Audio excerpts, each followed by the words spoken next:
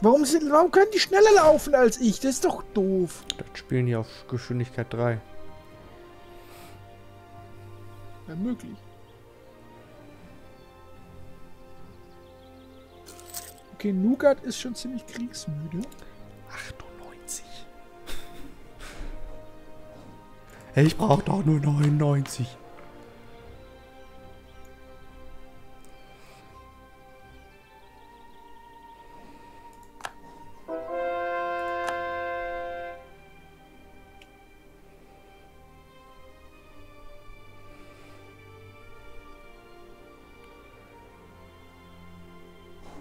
Geht da nach oben. Da muss ja auch alles eingenommen werden.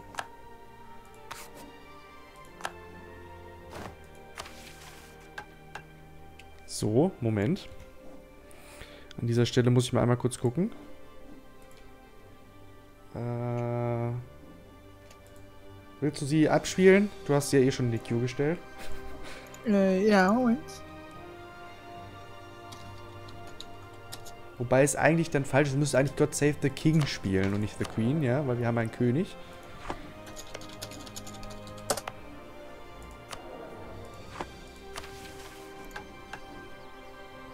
Ja, spielt er schon? Ich weiß nicht. Ich bin so live. Ah, da geht's los. Da geht's los. Ich muss hier irgendwie wieder aufmachen.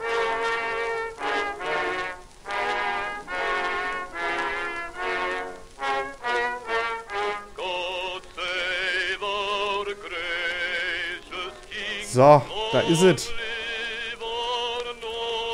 Großbritannien neben England. Ja, macht ja nichts.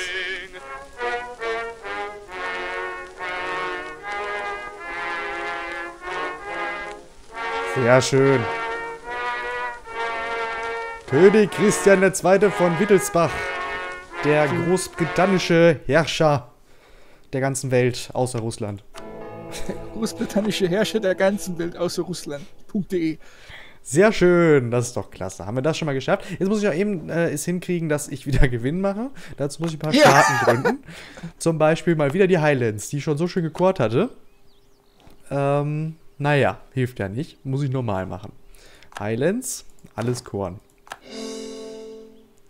So, eine kann ich davon schon wieder nicht mehr koren.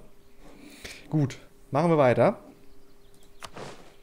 Ich werde jetzt noch mal relativ lange, relativ viel Verlust machen erstmal, aber hilft ja nicht. Ich habe Eroberung, Kriegsgrund gegen Großbritannien. Ha, sehr gut.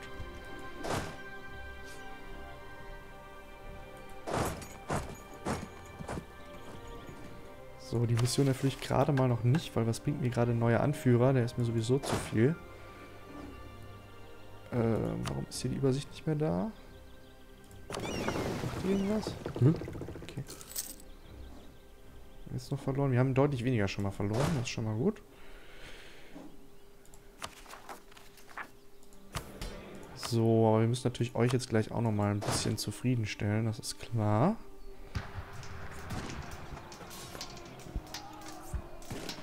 Sehr gut. Sehr Alter, ich, gut. ich, hab, ich mach Teppichbelagerung. Moment, ich muss mal kurz die ganzen, die ganzen Dinger, Jo. die ich belagert habe, weg. Das wird langsam, nimmt überhand. Hat das besetzt, hat dies besetzt, hat dort besetzt. Und so weiter und so fort. ja, ich kann das mal nutzen, um meine Stände wieder ein bisschen mehr... Wir nutzen diese Verzögerung.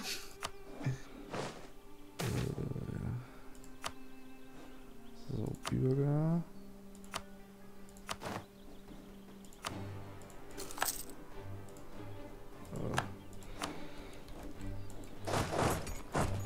Ist das der hier ran? Ja. Bürger. Also, nochmal einmal kurz zum Überprüfen. Bürger. Ein Hamburger? Moment, wo stand denn das jetzt hier? Hier stand irgendwo, wo man wen hinschicken soll. Das will ich mal eben kurz mir angucken. Warte mal, mach mal jetzt kurz Pause. Das muss ich mal eben jetzt, bevor ich hier zu viel Geld verliere. Äh, also. Niklerus brauchen wir nicht. Die sind gut. Wo stand das denn jetzt? Ich finde es nicht mehr. Das geht doch nicht. Ja, komm, wir geben erstmal den Bürgern relativ viel. Ich glaube, das ist ganz sinnvoll. Ich glaube, das bringt uns hier relativ viel. Bürger.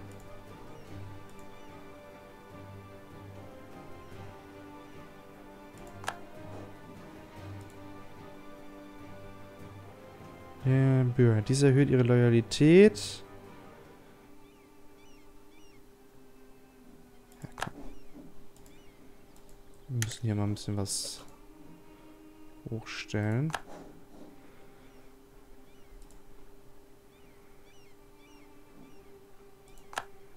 So.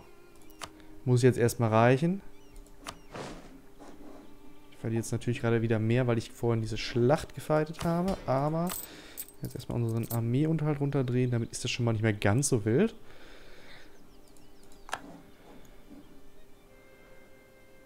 So.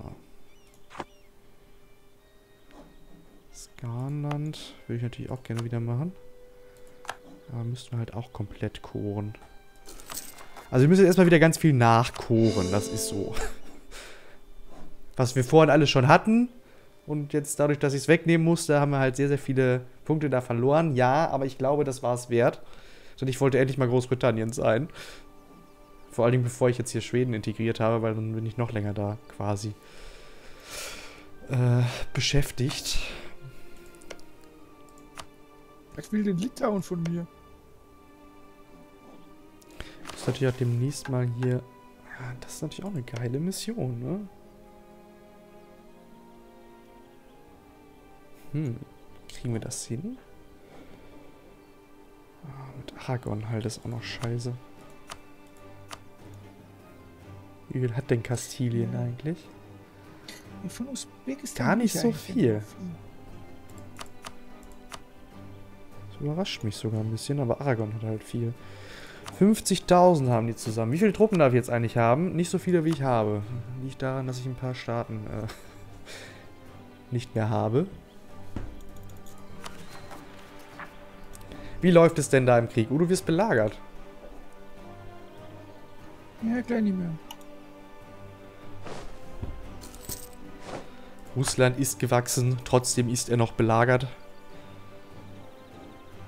Ja, wegen ich, weil der eigentliche Partner ist ja, Kriegspartner ist Nogai. So, so. Ich habe auch von Usbekistan nur zwei Staaten genommen, weil der Hauptziel war Nogai. Und Usbekistan wird sowieso irgendwann kaputt gehen. Da brauche ich gar nichts machen, die machen sich alleine kaputt. Ja, das stimmt. Ich glaube, wir können auf drei tun.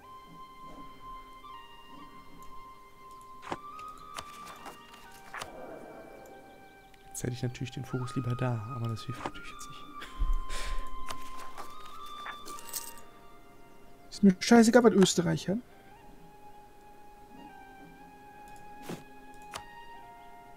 Ich habe einige Schiffe zu viel hier gerade. Das ist alles, weil ich diese Staaten nicht so habe. Aber es wird sich eh gleich nochmal alles ändern, sobald Schweden integriert ist.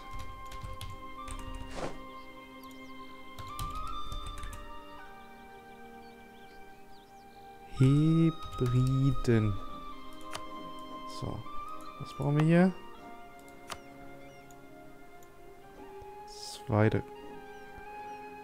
Produktions... Äh, Grundproduktion.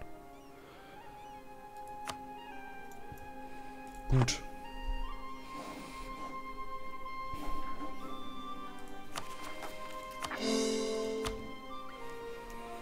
Ist mein Handelshaupthafen jetzt eigentlich auch hier? Ja. Sehr gut. Wo sind denn meine Händler? Der läutet jetzt noch hier was hin. Das halte ich für eigentlich Quatsch. Können wir besser dafür sorgen, dass er hier noch mehr rüberlädt, ne?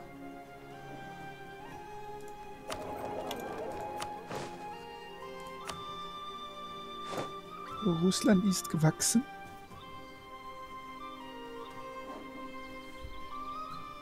Ist denn hier jemand da? Da ist ja auch noch jemand.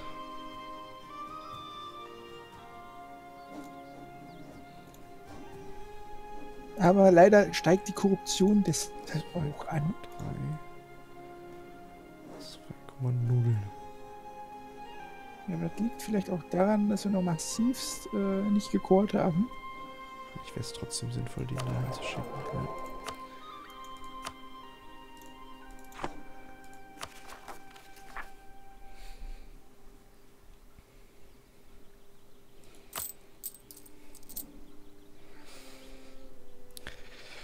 Gut, gut. Großbritannien. Das Rot von Großbritannien ist doch deutlich aggressiver als das von England oder Dänemark, ne? So ein richtiges Deswegen, Blutrot. des, des, deswegen heißt es ja auch Großbritannien. So, Ja, die sollten ja gleich nicht mehr kommen, hoffentlich. Der Schriftzug von Russland gefällt mir halt besser, muss ich sagen. Das, das die finanziellen Mittel von Russland gefallen dir bestimmt nicht besser. Wieso? Was hast du denn für finanzielle Mittel gerade? Minus 94, meine ich, weil die Korruption bekämpfen muss, bis alles gekort ist. Ja, kannst auch die Korruption ein bisschen fallen lassen, bevor du da so viel reinsteckst. Also steigen quasi. Das ist jetzt nicht so wild, wenn man sie danach wieder in den Griff bekommt. Minus 96 würde ich nicht machen. Da bist du ja sofort ein Darlehen nach dem anderen am Farben. So, Das ist richtig. jetzt keine Burg mehr. Wir haben hier und da eine, das soll ja wohl reichen.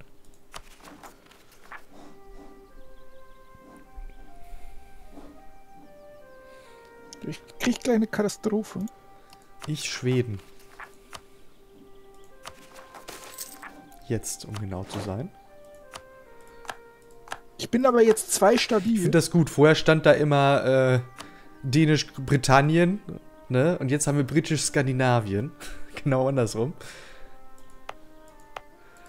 Äh, wir machen. Ach, warum ist denn jetzt da keine Festung? Ne? Ja, auch ein Witz. Aber hier brauchen wir keine. Dann ist das alles okay soweit. Wir machen natürlich eben das Einmotten. Können mal wieder neue Staaten gründen. Leider habe ich kein Geld dafür. Äh, beziehungsweise keine Admin-Punkte dafür. Und das noch nicht so viel. Und jetzt muss ich mir einmal kurz gucken, wie stark ich über dem Truppen- und Schiffslimit bin. Deutlich. Alles klar. Wie viele Schiffe muss ich denn loswerden? 17. Weisen wir schon mal die hier ab. Die 14. Noch Sie ein haben auch noch 3 mal drei 4. Ich habe auch noch mal drei Staaten gemacht. So viel Admin-Punkte hast du. Da bin ich ja ein bisschen Ja. neidisch. Jetzt, ja, jetzt nicht mehr. Drei waren wichtig noch, ne? Ne, zwei sogar nur. Dann fehlen noch zwei Galeeren, weil so oft kämpfen wir ja gar nicht mehr in der Ostsee. Dass ich da vorher noch ein paar mehr von entfernen soll. Oder leichte Hand verhalten sollen, wahrscheinlich. Und dann muss ich noch neun Einheiten loswerden. Dann nehmen wir nicht die, die hier so geil trainiert sind. Habt ihr eigentlich inzwischen mal was gemacht? Nee.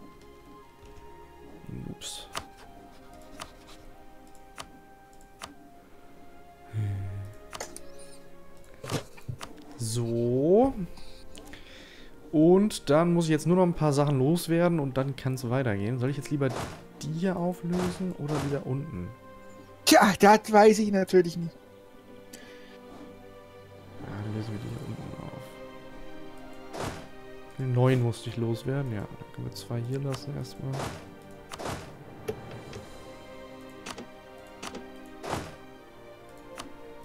Zack.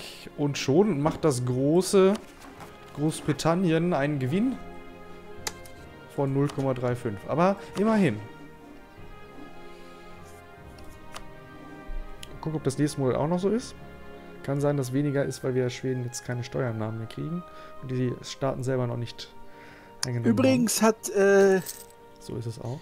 Ja. äh, äh, Brandenburg ein Handelsembargo gegen mich. Äh, Die sind sowieso aber äh, in der PU mit Österreich als Juniorpartner. Von daher ist das eh nichts, was dir jetzt so Kopfzerbrechen bereiten kann, eigentlich. können die Rebellen jetzt mal kommen? Das frage ich mich auch häufig. Oder wünsche ich mir auch Ja, häufig. würde, würde helfen, da sind die nämlich weg. Ja, ja, ich weiß. Und dann hast du immer die Steuern hoch, weil du denkst, du musst jetzt vielleicht bekämpfen Ja, und dann genau. kommen sie nicht. Das ist immer sehr nervig.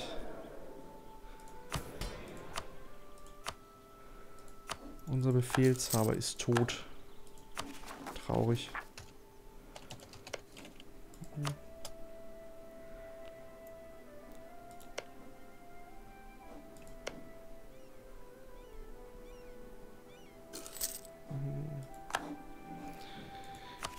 Waffenstillstand mit den Niederlanden beendet. Ich wusste gar nicht, dass ich einen hatte.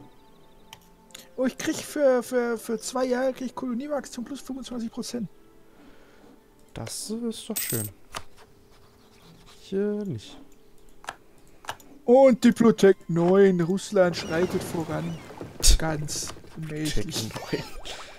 Ja, ich habe Diplotech 12. Das ist übrigens mit Abstand der Tech, wo ich am weitesten hinten bin. Und da habe ich die, die Krise, interne Konflikte. Oh, Herold aus Russland. Sie berichten von dem Ereignis interne Konflikte. Seit 1563 hat Russland fast ein Jahrzehnt des totalen Chaos hinter sich. Ja, bei Zauber als Anführer. Welches das Land langsam von innen zerbrödeln, nee, zerbröseln, nicht zerbrödeln, lässt und es an den Rand des Zusammenbruchs bringt. Unsere Nation kämpft im gesellschaftlich als auch im wirtschaftlichen Bereich. Den Hungersnöte und Kriege plagen uns. Was? Ach denn, das ist so klein alles. Und die wachsende Wie Opposition gegen Aristokratie und Kirche hat zu einer Reihe von Aufständen und Attentaten auf den Monarchen geführt. Ah, stirbt gleich dein Monarch. Oder was ist da los? Ich lebe noch. Ich lebe noch.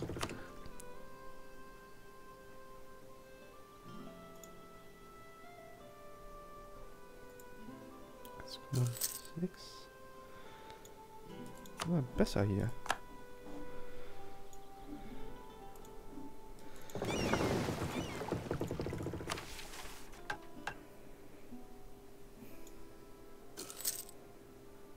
Ja, verliert Dukaten. Kein Problem. Auch nicht schlecht. Ja, Darlehen verlängert ist auch kein Problem. Was eigentlich das Spannende ist, ist das hier. Aber das müssen wir noch ein bisschen in die Länge ziehen.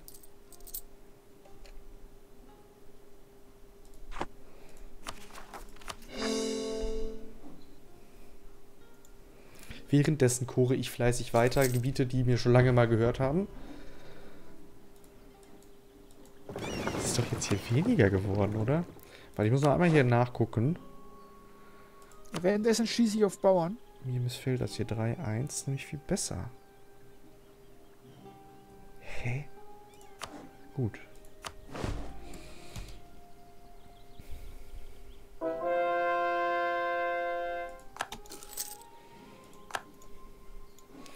Ist das...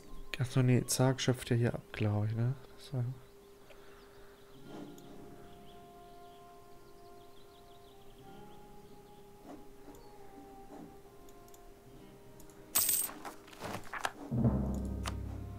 Oldenburg hat mich beleidigt. Frechheit. Wer hat dich belagert? Beleidigt, nicht belagert. Also. Oldenburg hat mich belagert. Ich muss gleich wieder ein Darlehen aufnehmen. Ja, ich habe schon ein paar. Ich hab schon ein paar. Meine Kolonie ist gleich fertig. Das ist doch schön.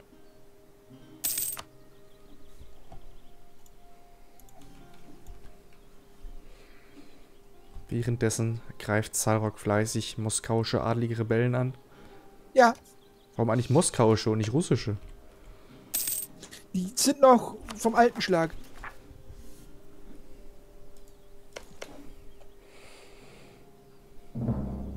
Wie wär's denn gleich nochmal jetzt mit einem Krieg gegen Polen? Weil da macht Litauen nicht mit. Dann kann ich auch alleine machen, ne? Habe ich kein Geld für. Warte mal, ich muss das mir einmal durch den Kopf Aber gehen was lassen. willst du mit polnischem Gebiet? Das ist doch die UdSSR. Nee, Gdansk, Malderborg und so nicht. Das ist alles Ostpreußen. Das gehört mir. Die Ost- Ostpreußen kannst du haben, aber der Rest ist Den unsere. Rest nehme ich nicht. Keine Angst, das haben wir besprochen. Aber ich muss mal einmal kurz gucken, wie viele Truppen Polen hat. New Polen. 24.000. Na, ist ja nicht so viel, ne? Aber ganz ich habe bisher langsam immer richtig auf den Sack bekommen bei Kriegen gegen Polen. Ich finde ganz geil, wenn die Sachen mal gekort werden. Ja, sowas dauert immer ein bisschen.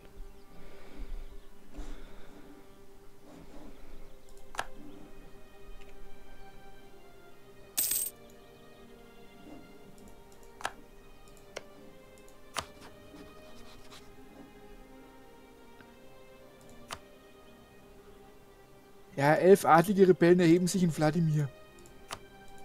Der Klitschko, der macht das schon.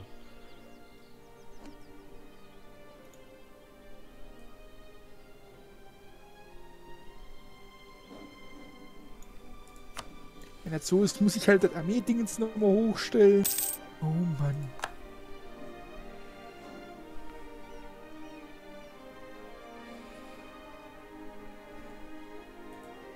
Achso, ich muss noch mal eben ganz kurz. Ähm. Denn meine Kolonie heißt ja nun Dänisch Simat. Finde ich jetzt ein bisschen bescheuert. Muss ich mal ganz kurz korrigieren. Britisch Sinat. Britisch Sinat. Englisch Guinea bist aber nicht du, ne? Na, ähm, eine davon gehört mir. Aber nicht Englisch Guinea, nein, nein. Mir gehört hier, Karu gehört mir. Das andere Rot. Kann man so gut unterscheiden. Gleich ne? hab ich. Bald habe ich alle Rebellen äh, abgemurkst. Komm auch, jetzt, jetzt kommen alle. Aber ist gut, wenn die einmal da sind und dann weg sind, dann kommen die nie wieder. Äh, hab ich gehört. Was ist das hier überhaupt für ein Krieg? Er hält 400 nochmal Dukaten. Hast du Goldfieber gekriegt? Oder war das was anderes? Ich muss die Inflation aber auch senken, sonst nicht so geil. Kannst du mal einmal kurz auf 2 gehen? Sonst müsste ich nämlich Pause machen, das will ich gerade nicht. Böhmische Eroberung von Hund. Hund. Was ist denn das jetzt los hier? Verschwörung. 25 Thronarbeiterregimenter erheben sich in Joreb. Ich, ich, ja, ist ja wie eine Katastrophe jetzt. Ja, ist es ja auch. Möglicherweise liegt es daran, dass es eine ist.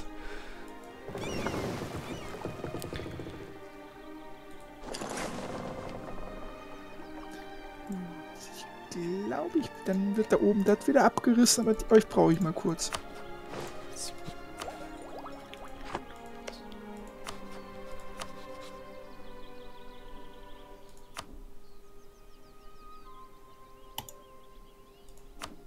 Angeblich habe ich einen Anspruch auf die Steppen erhoben. Ich weiß aber nichts davon.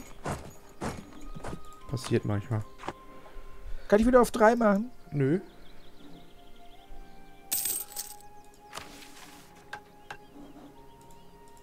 Ich muss auch einmal kurz pausieren, weil ich meine Kolonie fertig habe.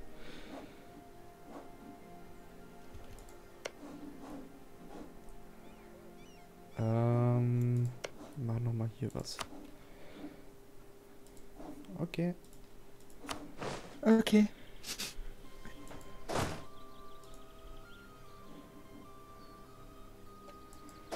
Ich schon ne? Ja. Perfekt.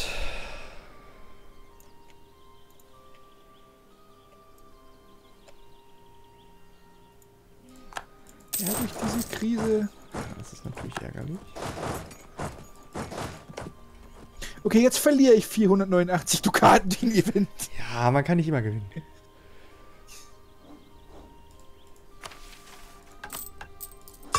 Die Katastrophe, man könnte meinen, die gehen mir auf den Sack. Ja, hast du denn schon geguckt, was äh, du machen musst, um die zu beenden?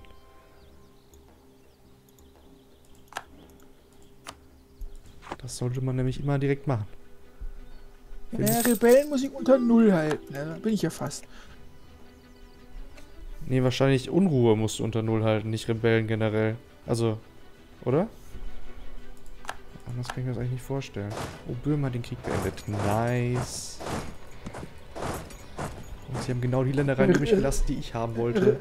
Revoltenrisiko geringer als 1, weniger Rebellenarmeen als 1, weniger Rebellenkontrollierte Provinzen als 1 und Stabilität mehr als 1. Ja, gut. Das kriegst du ja Also wohl hin, oder? Also muss ich eigentlich nur Rebellen plätten.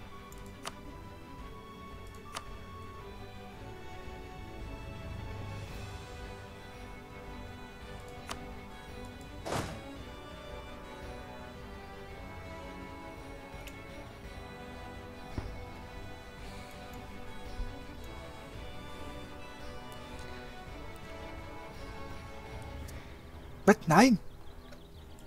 Mann, nein. Könntest du übrigens auch Litauen angreifen, wenn du das möchtest. Die sind jetzt ganz alleine. Ich habe gerade was anderes zu tun, Herr Ulrichs. Ja, gleich haben die ihn verbündet. Ich sag's dir. Weil mich interessiert Litauen nicht mehr, sonst würde ich die jetzt parallel angreifen, um ehrlich zu sein.